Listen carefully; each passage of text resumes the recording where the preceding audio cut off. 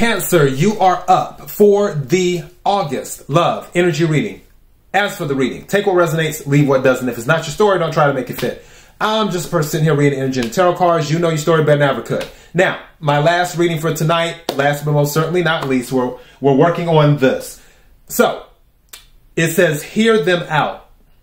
This person that you're dealing with, things are not balanced at the moment, but it's only temporary.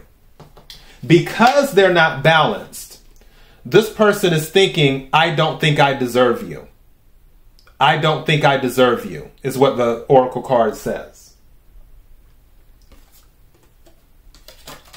Oh, the other Oracle card, it says, Don't lose faith. Good things are ahead of us. Don't lose faith. Good things are ahead of us. I feel like this is your energy.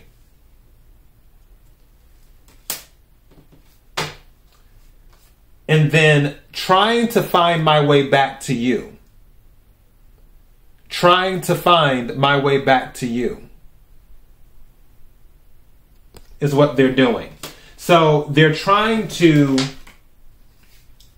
maybe in some cases physically find their way back to you, but also trying to get to a good place with you. Because maybe you're not communicating right now. At least that's the that's the vibe that I'm getting that you're not really communicating that much. And the other card that came out, it says, it says put, but it means take. If I ever take off my mask, will you accept another real me? If I ever take off my mask, will you accept another real me? And then finally, at the bottom of the Oracle deck, it says, Can you at least listen to me? Can you at least listen to me? And that's why I titled this Hear Them Out, because there's something that they want to tell you. Now, maybe in the past things were unbalanced, and maybe they're they're possibly unbalanced a little bit right now. That is fine. You have the six of pentacles in the reverse, and you have the six of swords in the reverse. Both sixes. Six six is um, about the meaning of 66 is about balance, harmony. There's another word too. Love is one, but it's something else. Balance, harmony, and something. I forgot what it is, but really about balance and harmony. Even though things were not balanced and there wasn't reciprocity, with the Six of Swords reversed, it's still about holding on. Because you didn't necessarily move away, or if you did move away, you still have feelings. Somebody still ha- has feelings. No one has completely let go, regardless of what the imbalance was back in the past or what the imbalance is now. No one has truly let go. The Hangman came out, which is about seeing things through a different perspective.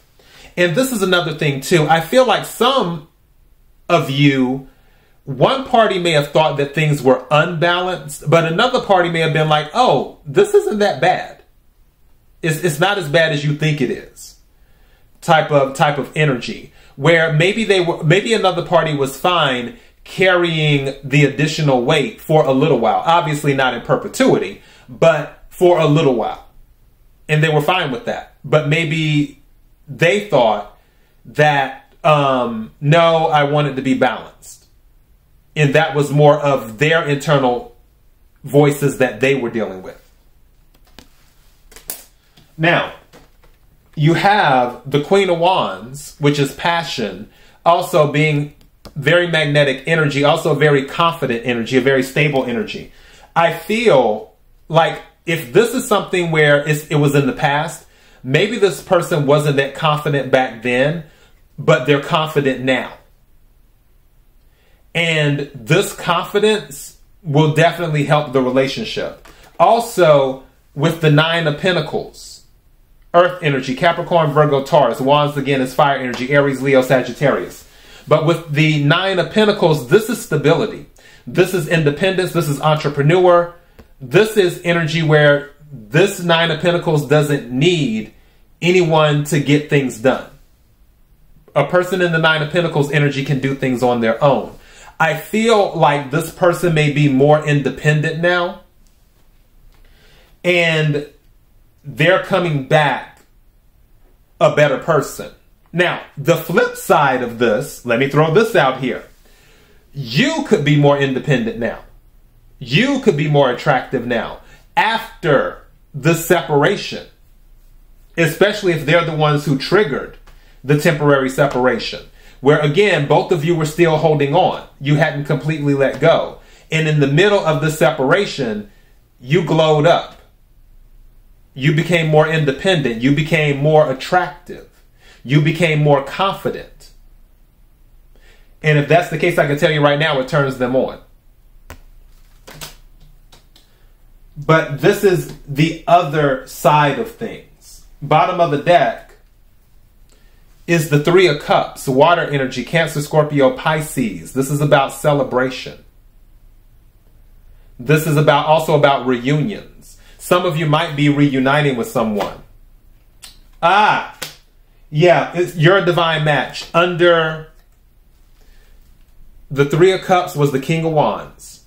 So this here is a divine match, is what this is, and it's a very passionate match too. I I just heard there is a lot of sex with this couple.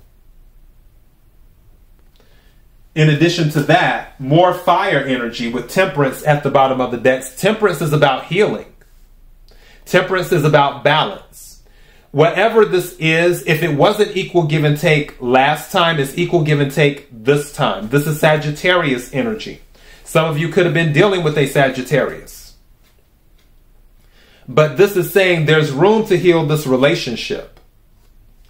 And with the Knight of Swords under that, someone's looking to take action, immediate action. They know where they want to invest with the with the Seven of Pentacles. And now that you have new insight, you know where to set your boundaries now with the Nine of Wands. And you know how to accept the good things in life with the Empress. And you know your worth with the Empress because you are Empress energy, Cancer. Empress is the mother of the tarot deck, Cancer is the mother of the zodiac. And you're leaving that old energy behind with the Ten of Swords. This is new energy. This is happiness with the sun and with the fool and with the lovers and with the ace of cups and with the Ace of Wands. So you have one, two, three major arcanas and two aces. Sound sounds like a good thing to me. Again, you have the sun, happiness, also can be pregnancy too, especially with this ace of wands. If you're not looking to get pregnant, cancer, be careful. Because with the sun and the ace of wands, yeah, baby. So you have the sun, happiness. You have the fool, starting over again. And Sun is Leo energy, Fool is Aquarius, Aries energy. Then you have the lovers making the choice, being together, Gemini energy. Then you have the Ace of Cups and the Ace of Wands. Emotional fulfillment, passion, physical fulfillment, the new start. That is what you are getting. But hear them out. And that is your message.